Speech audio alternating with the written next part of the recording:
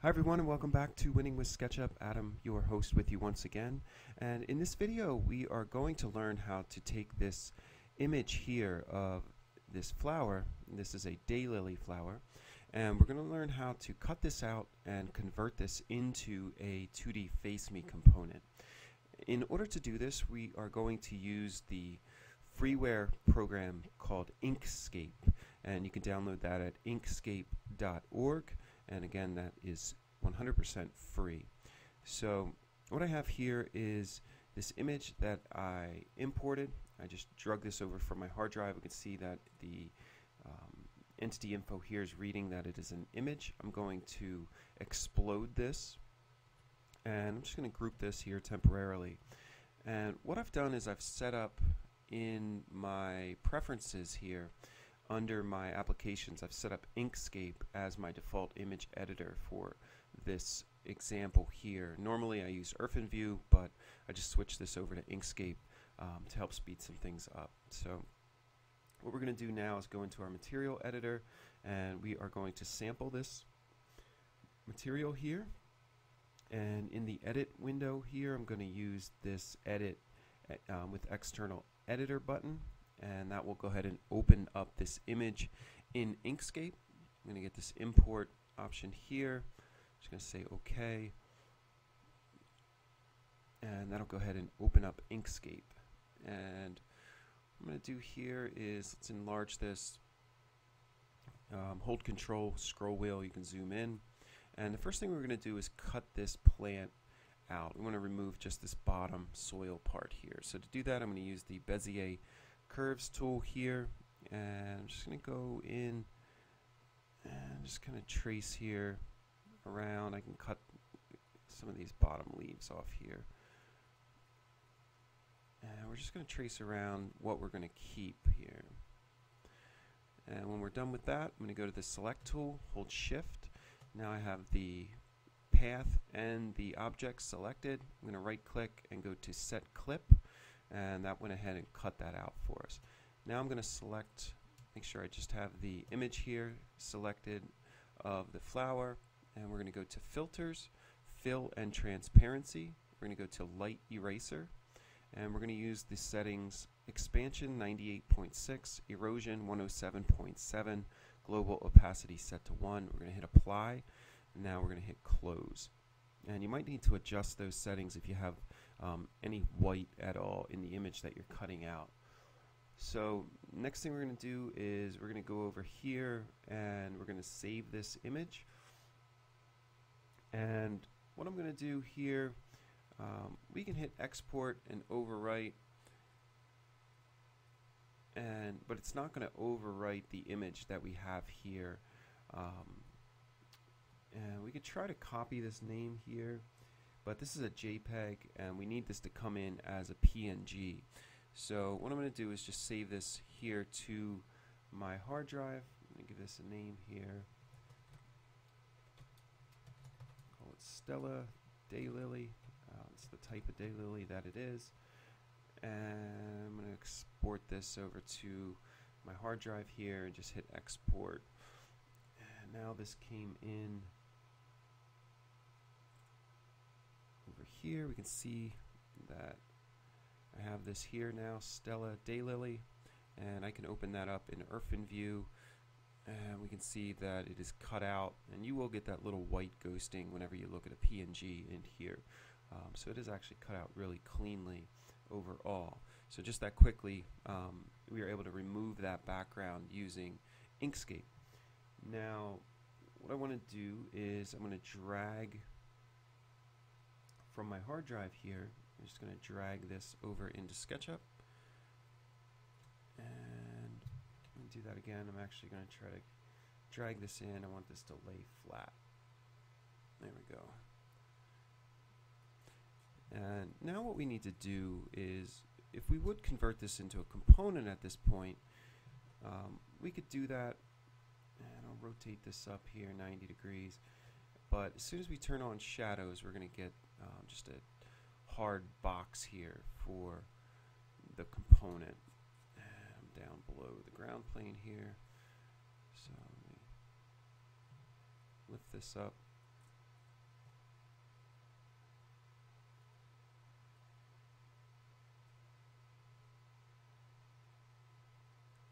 And it's still an image. Let me explode that there and now we can see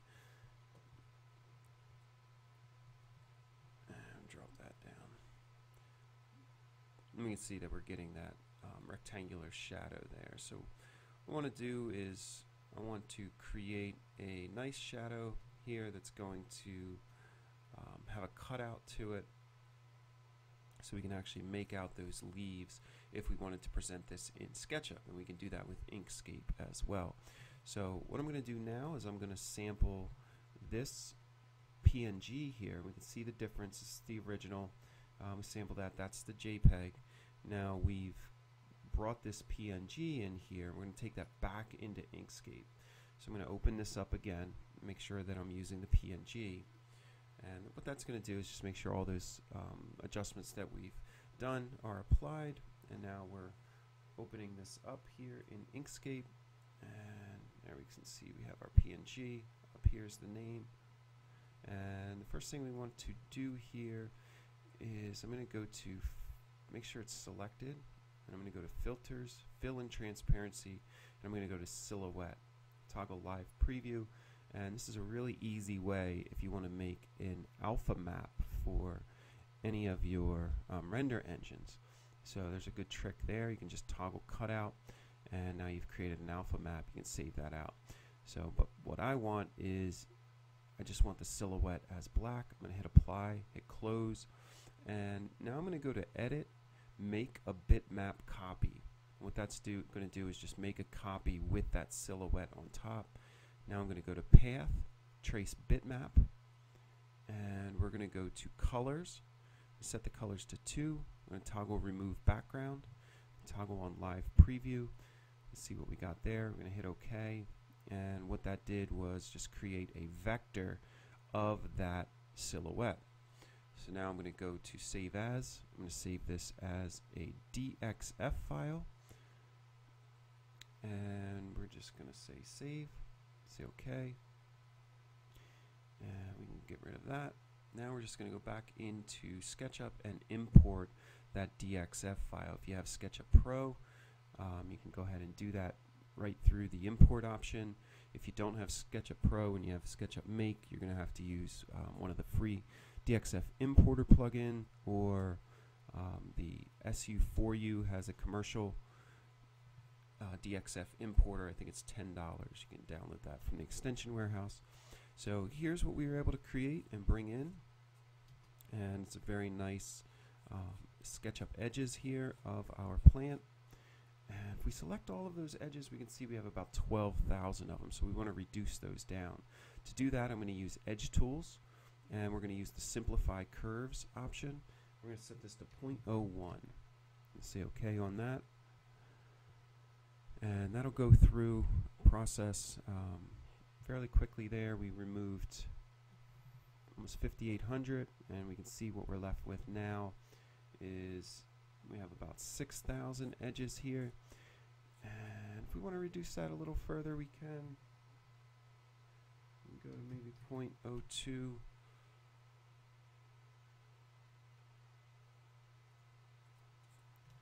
see that's taken us down to about 4,000 there. It's still quite heavy. Let's try 0.05. And I can live with that. We've got about 2,000 edges there. And you, you might really want to take it down further depending on what you're doing with this. Um, and we could go to something like 0.15 and really reduce it there. Now we're down to about 1,500 and that looks good. Now I'm going to use this plugin S4U Make Faces and that'll very quickly go through and generate the face here. And you see it did a good job. And there's a couple plugins that'll make faces. Eneroth has a good one. Um, there's some option you can right click do generate faces it, if you have um, Fredo tools on surface. That comes with a generate faces tool so what I'm going to do now is just double click here in the center. I'm going to make that a group. I'm going to go Control A, select everything, and then Control plus Shift and deselect the group that we just created. And now I'm going to hit delete and delete everything else. So I just um, grouped what we wanted to keep, selected everything, deselected the group, and then deleted all that excess. So now we can explode this down. Let's reverse these faces. And bring this over here on top. And what I want to do, I want to lift this up in the air above this. And we're going to go to top view. We're going to go make sure parallel projections on. We're going to turn on x-ray mode. And now we're just going to scale this up. And use the move tool and the scale tool. And looks like I got pretty lucky there. First try. And just going to tweak this here.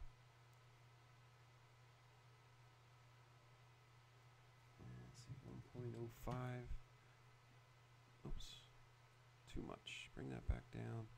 There we go. That looks good. Um, maybe just a little bit this way. And then move that hair over.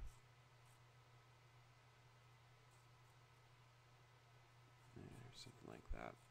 So, it doesn't have to be perfect. We still have the transparency in our image itself. So, that looks good. We just wanted to line it up. Now we can turn off x-ray mode. We can explode this image, make sure our texture is set to projected, which it is. I'm going to sample that, the SketchUp paint bucket. We can get into our group here, and we're just going to paint that in there, and should line up um, almost exactly there. If it's off, we can get in here, we can position this from here as well, and just tweak that a little bit further, get that where we want it. Say OK. Now get back out and let's delete that original one. So let's rotate this up now, 90 degrees. And let's explode this again and let's make it into a component. Set our component axis in the middle. Click three times, toggle always face camera, turn off shadows face sun, give it a name. Say create and get inside now. I'm going to select, triple click, select everything, hold shift, deselect that interface, and we're going to toggle this as hidden here in our entity info. So now, we turn off our parallel projection, and this is rotating here around the center axis. And we've gone from this image to this beautiful cutout here. Let's see how nice that's cut out just using Inkscape. And you can also look at this in mass here. I'm just going to use the freehand tool and let's draw a little patch here. And I'm going to use, scale this up just a little bit, maybe scale it this way.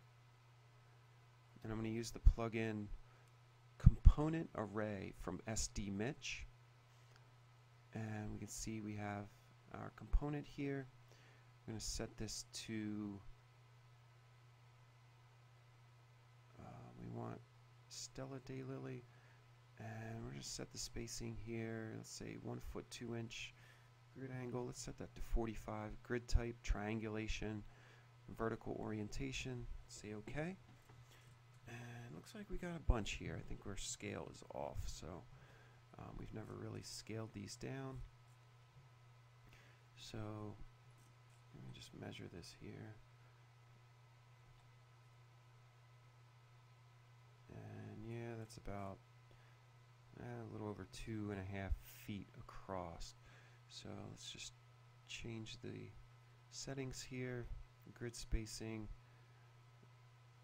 Uh, let's go 32 inches. Say okay.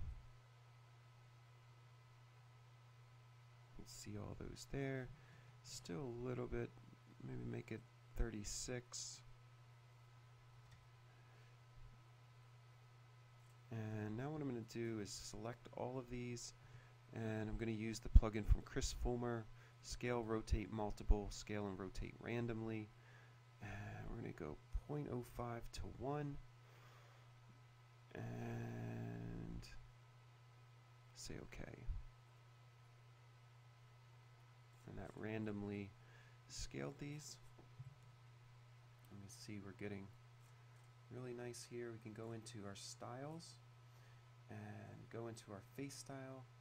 And if this is set to faster we can set that to medium or nicer to get better results in our transparency. And we can see that there. And let's just do a test render here with Thea. And I'm going to set some depth of field here. And let's set the camera maybe there go ahead and hit render. And we can see how nice this looks here.